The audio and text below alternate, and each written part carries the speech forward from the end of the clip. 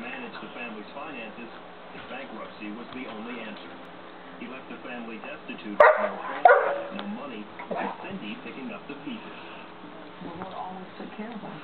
Was, our needs were always met, and we were tithers, yes, and I always had tithes, whatever I had, whatever I was given, I had tithes off of. Cindy learned from her parents the biblical principles of tithing and giving. Cindy knew whatever money she had belonged to God. Wanted to her nursing profession and earn a better income, sent out resumes and trusted God to work out the details. Family, and God is first priority. He's on your side, he's gonna make a way. And, uh, I got the phone call, and the supervisor, so I was the weekends off, and I didn't even put a resume in. This was not uncommon for Cindy and her family. They've also seen God multiply her income over and over again. Cindy became a CBN partner during these times, and she remembers her obedience to give eventually landed her a new home. I had started earlier to, to take the little bit of money I had left over, and to be honest with you, I think it was like twenty-five dollars a month or every two weeks. After tithes, offerings, and bills. And, um, I took the twenty-five dollars and Hi, Dozer. If I invested in a savings account, it would prefer to be a down payment. Those are no bite. If I spend ten, you'll get me And then I took ten thousand dollars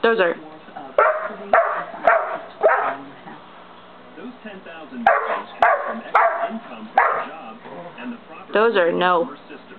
Within three years of building her home, Cindy paid it off. Today, the Globe Shelter continues the legacy of taking of the by Cindy many years ago.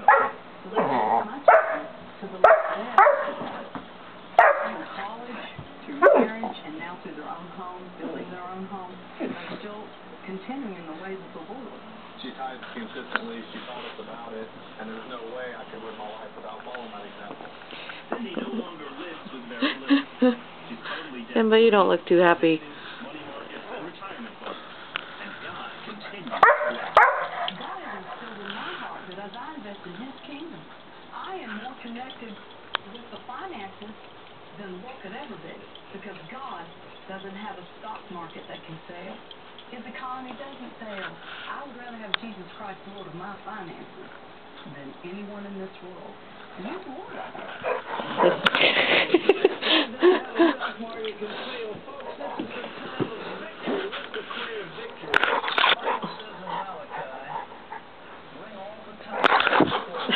Nobody wants to see the inside of your mouth. Those are.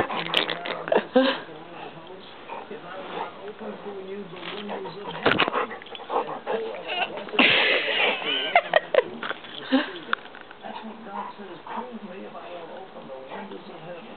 Now, if I can have some some trumpets.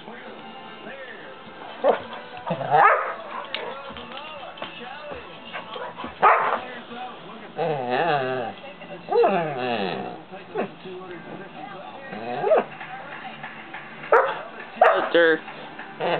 Dozer.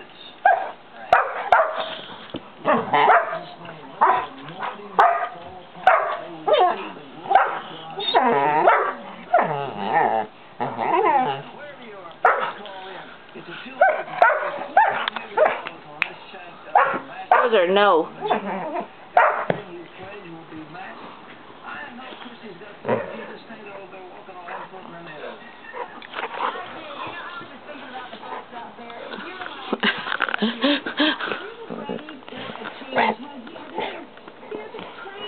something just to happen in your life and you're starting to get frustrated because it's not working, I want to encourage you today.